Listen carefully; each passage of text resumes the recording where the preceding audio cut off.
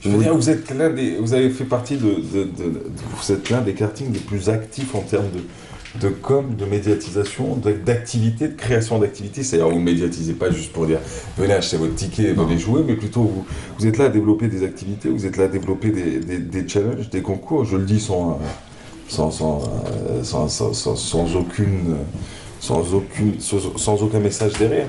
Il faudrait que je retrouve mon vocabulaire aujourd'hui, je l'ai perdu depuis quelques jours, je sais pas où il est.